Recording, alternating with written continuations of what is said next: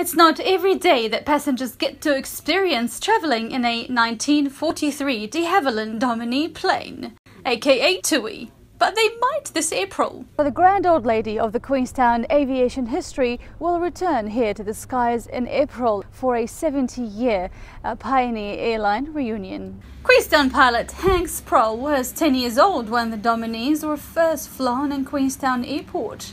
He is now one of the longest serving members of the Queenstown Airport's general aviation community. I think the reunion is going to be great to get um, people together, all the old people that flew here in, in the pioneering days. The eight-seater aircraft was built in the early 40s and used for scenic, scheduled and charter work from Queenstown Airport. And there's a saying in aviation, if it looks good, it is good, and they are good. So that is um, probably the special part of the Dominie, you know, it's like it's, it's very sleek, elliptical wings, very streamlined, and for probably for its time, way ahead of, of uh, the design, way ahead of what um, what it was designed for. Richard Waugh, an aviation historian, remembers his father, Brian Waugh, flying in a Dominie in Queenstown. Flying Dominies and Cessnas, and then uh, served on the, the, west coast in South Westland, which was related to the Queenstown airline. The Queenstown Airport Corporation has helped pay for the 1943 de Havilland aircraft come to Queenstown. It's really celebrating the history of this airport